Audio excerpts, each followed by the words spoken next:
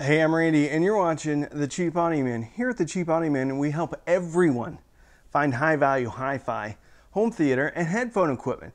And today, we're talking about the ELAC BS41. A little bit of a mystery here.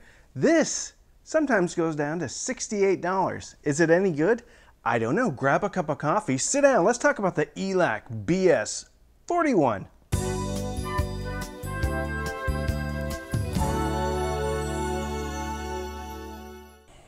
Let's face it, you're probably getting a divorce if you haven't gotten one already. That's why today's sponsor is very important if you don't want to die alone. Who is it? It's Keeps. That's right, Keeps. It's personalized treatment for male pattern baldness from a real doctor, not one that operates out of a strip mall next to a subway, a real physician that went to doctor school. Two out of three men experience some type of hair loss by the time they're 35. If you've been on any of my Patreon Zooms on Sunday night, you'd know that because it looks like a Telly Savalas look-alike contest because people are bald. Even myself. Mother Nature has thinned me out a bit. This is what I used to look like. Yeah, look at that hair. Look at the denim. Yeah, my mom dropped this off to me when they moved. She didn't want it anymore, so she just gave it to me. Now I hang it in the kids' rooms until they see it and freak out. Point being, if I look like that, I'd be having a, a nice seafood dinner at Red Lobster with some cheddar biscuits with a, a potential new mate. Not anymore, be at Arby's. That's right, keeps. A physician will tailor a treatment program to you, and then they send it to you.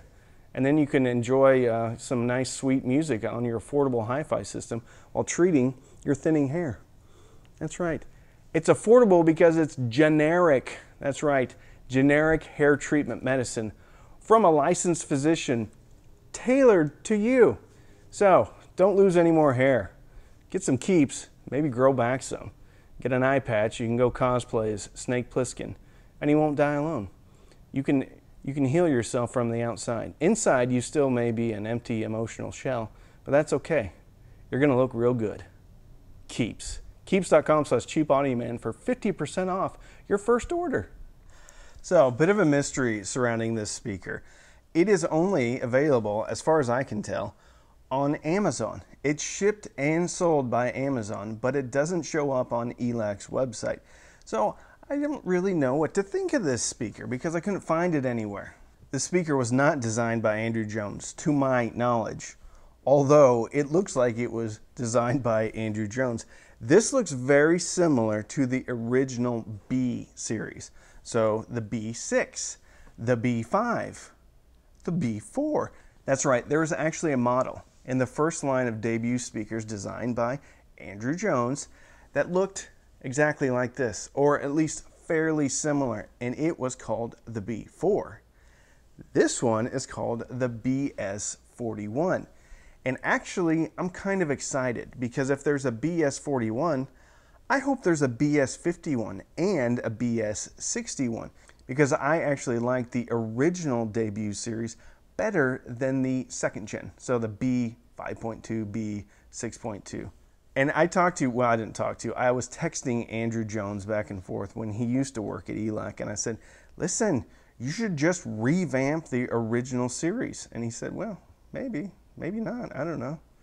I'm not saying that Andrew Jones had anything to do with this, but what I'm saying is this is awful similar to the original ELAC debut line. Now, they're not the same though. I think these are a little bit more affordable. Speaking about being affordable, I actually bought these at $68.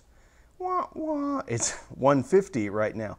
But what I am hoping is that this is going to track with Sony SSCS5, which has three prices, 180, 150, and it goes all the way down to 80. I am hoping they are going to play the same pricing game with the ELAC BS41 and that it will go back down to $68. Because even at $150, this is a pretty compelling speaker.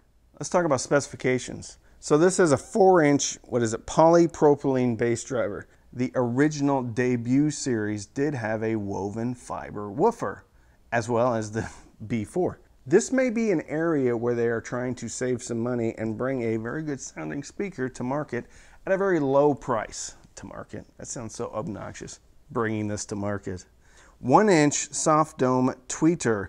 The rated specifications on this is a generous, well, not generous, a low, an impressive, there we go, an impressive bass roll off of 48 hertz out of a very small speaker with a 4 inch driver. And guess what? I don't think they're lying. And then it says it's rated up to 35,000 hertz. If you look at the tweeter grill here, reminiscent of some of the Andrew Jones speakers. This whole thing looks like a combination between the original debut series, B5, B4, B6, and the B 5.2, 6.2. I don't think they had a 4.2. But this surround, this stuff, it all looks similar. It has a very similar enclosure covering, whatever you want to call it, vinyl wrap, that looks like the B5.2, B6.2, and it is very good looking. It is a wood grain or fake wood, but it has texture and frankly, it's one of the better looking speakers, even under $200. This comes with a grill that press fits by posts into the enclosure, and I definitely don't have a problem with that considering this thing is 150 retail and goes all the way down to $68 on the back, there is a rear port and five-way binding posts on the bottom. And these binding posts are better than the ones that were on the $600 PSB Imagine XB. And then on the bottom, there are some rubber, not foam, rubber bumpers. I don't know, they could be foam. Is foam and rubber the same thing? Drop it in the comments. They have the specs down here on a little sticker on the bottom. 6 ohm nominal impedance says max power input 80 watts. I did look up the sensitivity. It is 84.5. So this is not an easy speaker to drive. However, I didn't have a problem driving it with any of the amplifiers I put on it. And I put on, let's see, the Aiyima A300, the Aiyima A07, the Loxjie uh, A30, and then I put it on the Pioneer VSX LX 305. So a combination of Class D uh, and then a receiver, regular receiver. I imagine these are going to be in a desktop situation, maybe uh, as fronts in a small home theater or soundbar replacement, something like that. They're small speaker though, but they don't play small. I'm just to hold it like this. I was trying to bring the, it over, but then it didn't work out with the framing of the fancy camera. Anyway, BS41. So sound-wise, this sounds very similar to the original Pioneer uh, Elac Jones, Andrew Jones. This sounds very similar or reminiscent to the first Pioneer, which was LR22-22 LR, something like that. It was a ridiculous, ridiculous model number. Yeah, okay, he's in frame. All right, so these sound warmer much warmer. But they also pack a huge punch that one would not expect out of a speaker with a 4 inch driver. That is the reason why the sensitivity is so low. So what they did is they crushed down the sensitivity of the tweeter with a crossover, usually a know, resistor in line or in front of or right after the second order high pass filter. I don't know what kind of crossover is in here. I didn't pull it apart, but please feel free, if you buy them, rip the speaker apart, check out the crossover, and update it as you see fit. Generally, when I see a lower sensitivity on a small bookshelf speaker like this, it's a good thing because what they're doing is they're bringing down the tweeter level to be in line with the bass level, or sometimes, in this case, I think they're pushing it down a little bit more. So the overall sound signature is a little bit warmer and the bass is a little bit more on display compared to a lot of the other speakers in this price category. This is a welcome departure from the sound signature that is pretty common in the sub $200 speaker category, and that is either a U-shaped or a little bit emphasized on the treble. It's a warmer speaker, emphasized on the bass, and I could not believe how hard this thing punched. Intergalactic by the Beastie Boys, while it did not extend super low, it did extend lower than much costlier speakers with much bigger drivers. I was surprised. Killing Strangers was very punchy. Highway to Hell also a little bit mm, more punch. So that bass on Highway to Hell is pretty tight. And this was pretty punchy.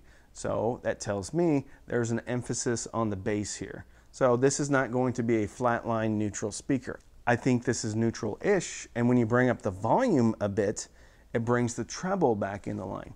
Very similar to the PSB Imagine XB, the speaker review I just did. Bass tonally is pretty good. However, overall the bass on here can get a little bit sloppy. And we need to have reasonable expectations on a $150 retail and a $68 on sale speaker. The bass is not going to be super tight. At times, it does cover up the mids at louder volumes. If anything, a little bit of tone controls on this is actually going to clean the bass up a little bit more. And I'm talking about backing the bass down. And usually it's the exact opposite on speakers in this price category. Usually I'm cranking the bass up. Overall, the bass tone is pretty good. Bass amount is exceptional.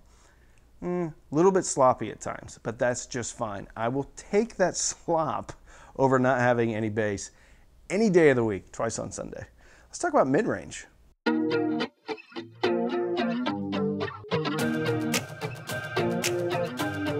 Mid-range on this speaker is very similar. Actually, this entire review is going to be very similar to the Imagine XB by PSB review, except this one costs uh, retail a quarter of that speaker. I'm not saying this is better than the Imagine XBs by PSB. I'm just saying overall the sound signature is similar. Overall the impression I got from these speakers is similar. Mid-range on this speaker leans a little bit warm and lacks a little bit of the finite detail you'll find on a speaker that has a different sound signature. For example, the Sony SSCS5. Mids are still very enjoyable. Female vocals have a warmer lean so Adele, Hello by Adele, is what that song was a little bit more caramelly. Okay, male vocals pretty awesome. There will be time by Mumford and Sons.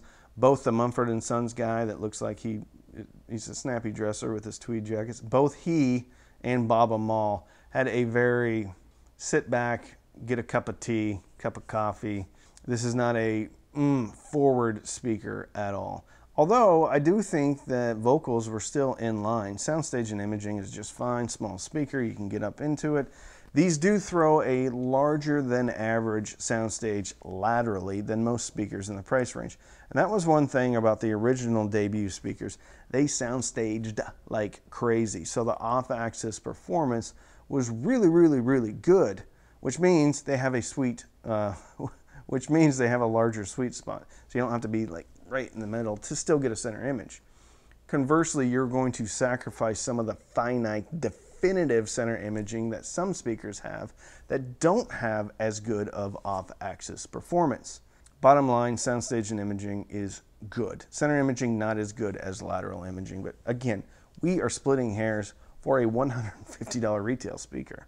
Acoustic guitars are not going to be quite as detailed as on something like the Sony SSCS5 or even the Micca RB42, but they're still very enjoyable. And overall, I think the mids fit in with the vibe of the speaker. Let's talk about treble.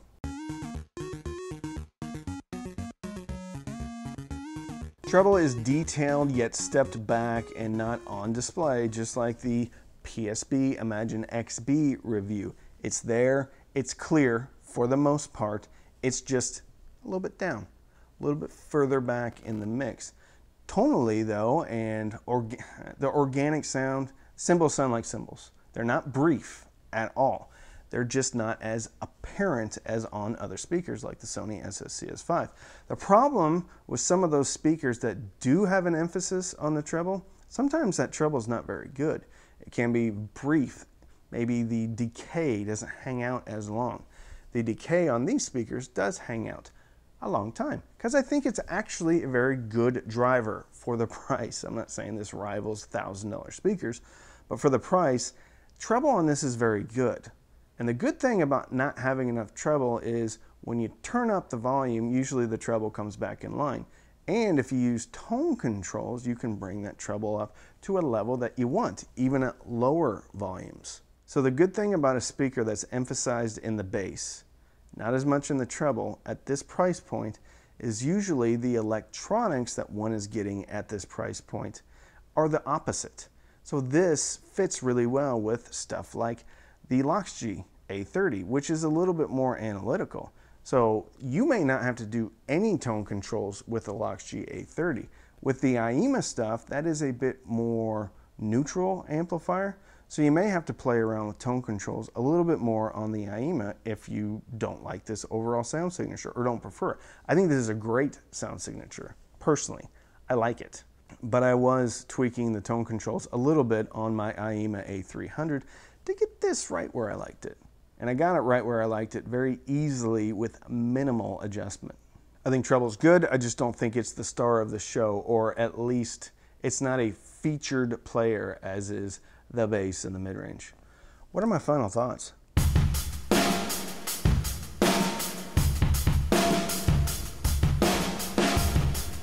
Final thoughts on the ELAC BS41 is I am thrilled that this speaker exists. I'm still a little bit confused as to why it exists. I think it does to compete with the Sony SSCS5. A little confused about the sales channel too. If this is sold outside of Amazon and you've seen it, why don't you drop it in the comments? I did see something on Slick Deals, but what it really did is redirect back to Amazon. So I really don't know how this fits in with ELAC because it's not on their website, but I don't care. It's available and it sounds awesome. This represents kind of the opposite end of the pendulum swing from the Sony SSCS5. Sony SSCS5 is very clean, a little bit cooler mids, and then obviously the top end is pretty emphasized on the Sony. This is, well, the opposite of that. It's still great. Both those speakers are great. And if they both go on sale for $68 and $78 respectively, for 160 bucks, one could get two very good speakers and be able to enjoy two very different sound signatures. Or figure out, hey, do I prefer the warmer ELAC speaker or do I prefer the more analytical Sony speaker? Personally, I just get both of them. This speaker, though, plays pretty loud. And in small to even medium rooms, I think you could get away with using these as a dedicated two channel system or as front speakers for a home theater slash TV setup. There is a matching center speaker that comes in this line. So obviously, these are meant to be front channels, unless, unless, unless there's a BS 51 coming out or BS 61 coming out. Then these could be relegated to surround speakers. However, with the rear port, with a little bit of the boomy bass at higher levels, if you're going to be using these as surround speakers and they are close to a wall at all, you may want to consider plugging the port. Doesn't have to be anything fancy. Some socks. Roll up some socks, stick them in there, preferably clean ones. Or it doesn't matter. You can use dirty socks if you'd like. I've used diapers before. Not used diapers, but clean diapers. Just roll it up, stick it right in there. You got to work with what you have, is what I'm saying. Overall, I think these are a fantastic speaker and mind blowing, really, at their price. They're not perfect. They have a bit of sloppy bass at times, but you can turn that down with a little bit of tone controls. I think it's a great speaker, and I hope that they come out with a 5 inch and a 6 inch version because then we're harkening back to the original debut series, which I think were a much better speaker than what's available now the, what's available now with the 5.2 and the 6.2 are great. It's not my personal cup of tea though. These, mm, much better. Highly recommended, even at $150. So, how do these stack up against the Sony SSCS5, the Micca RB42s, the Yamo S803, all of these speakers that are in the sub $200 category? Because now we have a new player in that category. It's not just the Sonys anymore. Not just Micca RB42 anymore. Not just Yamo S803 anymore. We've got a fourth contender. So that comparison is going to be coming up later. And when I get to that video, I will post a link here so that you can go jump to that video. Doesn't exist yet, but maybe sometime after I do it, I'll put it back in here. So if you want to support the channel, you can sign up for Patreon, patreon.com slash cheapaudioman. Every Sunday night, we have Patreon-only Zooms. We also have a Patreon-only Facebook group. You can also sign up for Amazon Music or Tidal. Click on the links in the description. Even if you sign up for a trial, I'll get a couple of dollars. You can also use my links to buy the ELAC BS41. Those are affiliate links, which means if you click and buy, I will get a commission, but it doesn't cost you any more. So it's a great way to support the channel. So don't binge watch anything on Netflix or Hulu unless you're pumping it through the ELAC BS41s. Get the ELAC BS41s, listen to some music, and fill your soul with happiness. And with that, I'm Randy. I'm the Cheap Audio Man.